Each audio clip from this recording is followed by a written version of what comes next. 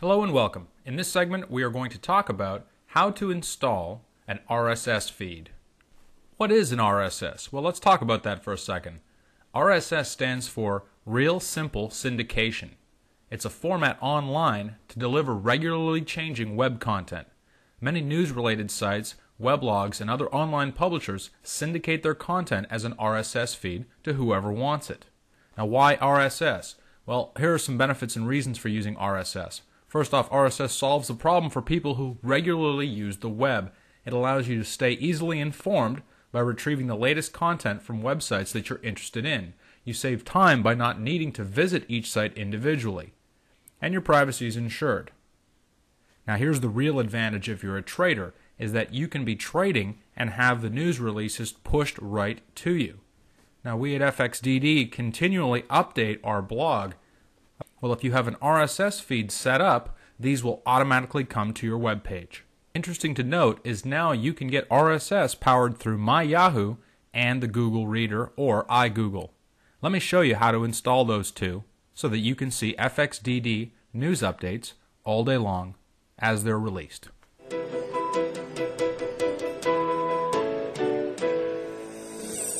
Let's pull up the FXDD blog and I'll show you how to activate an RSS feed. Okay, as you can now see, we've come to the FXDD blog. You also can access the blog at http colon slash slash forex.fxdd.com.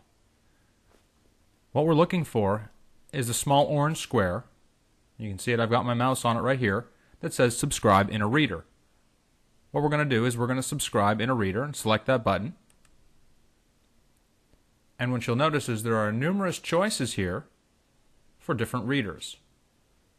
Let's go through the Google example. Most of these are almost identical, and it's all very simple to do. We'll click on Google, and it'll offer us two choices. One, we can add to the Google homepage, or we can add to the Google Feed Reader.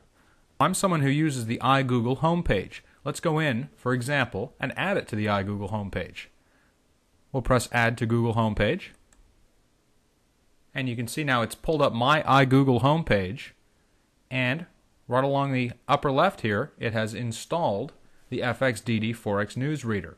And this is fantastic because I get news releases as they come out. Now, if you decide that you no longer want it, all you do is the X and it has been removed. Very simple. And you can do this in the uh, Yahoo homepage and any other tool that you decide to use. It's very simple and easy to do this. And especially if you're trading, maybe you're someone with multiple monitors, you can leave up this page and you can clearly see all of the news that you need to help make your trading decisions. And then on your other monitor, you can leave up your trading software. You can click on any one of these and it will take you right back to the blog where you can get the full picture, you can see the graphics, and the daily videos that are released. I hope you found this helpful, and I hope you enjoy reading the news and information that comes from fxdd.com.